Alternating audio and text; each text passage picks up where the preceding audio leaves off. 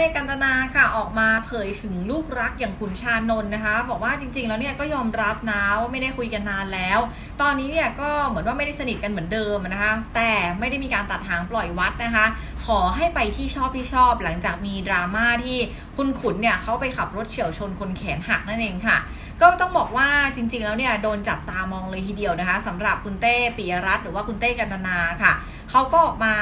เเหมือนว่าหลายๆคนก็คอยจับตามองอยู่ตลอดนั่นนะคะหลังจากที่พิธีกรแล้วก็นักแสดงหนุ่มลูกรักของค่ายอย่างคุณขุนชานนท์เนี่ยเขาก็มีข่าวดราม่าที่เหมือนไปขับรถเฉียวชนคู่กรณีจนแขนหักนะคะ แต่ว่าดันมีการต่อรองในเรื่องของค่าเสียหาย ค่าใช้จ่าย ค่ารักษาพยาบาลอะไรประมาณนี้ค่ะทำให้โดนจับจ้องว่าเออ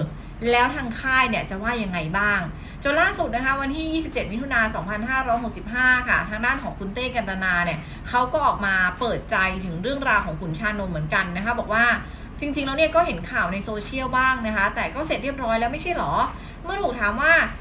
ในฐานะที่เป็นลูกรักเนี่ยพอเกิดเหตุการณ์แบบเนี้ย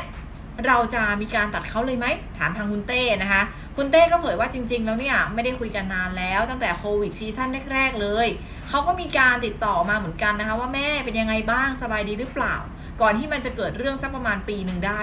ตอนเกิดเรื่องเนี่ยก็ไม่ได้มีการคุยกันนะคะ ก็คือ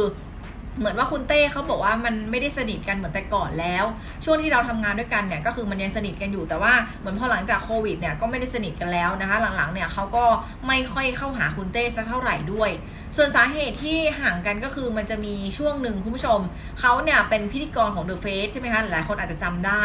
แล้วพี่เต้เนี่ยก็เปลี่ยนพิธีกรเป็นองตวน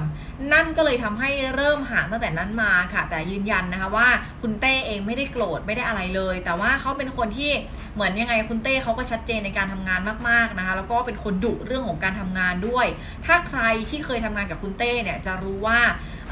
เป็นตัวอย่างที่ดีเนี่ย ถ้าถ้าสมมติว่าเขาเป็นตัวอย่างที่ดี คุณเต้ก็จะส่งเสริมให้ทำงานให้ดีนะคะ ทีนี้ถ้าถามว่าจริง ๆ แล้วเนี่ย ตอนนี้ไม่ใช่ลูกรักแล้วหรือเปล่า หลาย ๆ คนก็สงสัยนะคะ คุณเต้เขาก็บอกว่าก็ลูกรักแหละ เรารักลูกเรา เราถึงได้ทำแบบนี้ เราถึงได้ให้เขาเนี่ยไปพิจารณาในสิ่งที่เขาต้องการในชีวิตก่อน อยู่ในที่ชอบที่เขาชอบนั้นลูกนะ แม่อยู่นี่แล้วลูกมาหาแม่ได้ตลอดเวลาเลย แม่พร้อมรับลูกได้ตลอดเวลา อยากทำงานก็บอกได้ตลอดเวลาเลย แต่ถ้าให้ทำงานแล้วไม่ตื่นมาทำงานก็ไม่ได้ไง เอาคุณผู้ชมค่ะส่วนถ้าคุณฝั่งนั้นเนี่ยเขามีการปรับตัวในเรื่องของวินัยการทำงานแล้ว พร้อมจะสนับสนุนไหมส่วนตัวเองเนี่ยก็ต้องถามชาวโลกที่เขาเคยให้ความรับผิดชอบด้วยว่าเขาพร้อมด้วยหรือเปล่า ไม่ใช่แค่การตนาที่เคยมอบความรับผิดชอบให้ไง